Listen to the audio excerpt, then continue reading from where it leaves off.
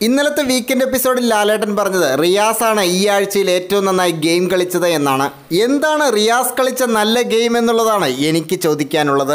കേട്ടാലറയ്ക്കുന്ന English തെറിവാക്കുകൾ big boss ഹൗസിനുള്ളിൽ ഉപയോഗിച്ചതാണോ റിയാസ് കളിച്ച നല്ല ഗെയിം അതോ ബിഗ് ബോസ് ഹൗസിനുള്ളിൽ മലയാളം സംസാരിക്കണമെന്ന് കഴിഞ്ഞ ആഴ്ചയിൽ ലാലേട്ടൻ കൊടുത്ത കർശന നിർദ്ദേശത്തെ കാറ്റിൽ പറത്തിയതാണോ റിയാസ് നടത്തിയ മികച്ച പ്രകടനം? കളക്ട് ചെയ്യുന്ന കോയിൻസ് എല്ലാം ടേബിളിന്റെ മുകളിൽ തന്നെ വെക്കണമെന്നുള്ള ബിഗ് ബോസിന്റെ നിർദ്ദേശത്തിന് പുല്ലുവില നൽകിയതാണോ റിയാസിനെ മികച്ച ഗെയിമറാക്കിയത്? കട്ടും മോഷ്ടിച്ചും വഴക്കുണ്ടാക്കിയും തെറി വിളിച്ചും ബിഗ് ബോസിന് വേണ്ട കണ്ടന്റ് റിയാസ് കൊടുത്തപ്പോൾ വീക്കെൻഡ് എപ്പിസോഡിൽ ലാലേട്ടനെ കൊണ്ട് റിയാസിനെ പുണ്യാളനായി അവരോധിച്ചു. റിയാസിന്റെ സ്ഥാനത്ത് ഡോക്ടർ റോബിൻ ആയിരുന്നെങ്കിൽ ബിഗ് ബോസും ലാലേട്ടനും ഇങ്ങനെ തന്നെയായിരിക്കുമോ പ്രതികരിക്കുക?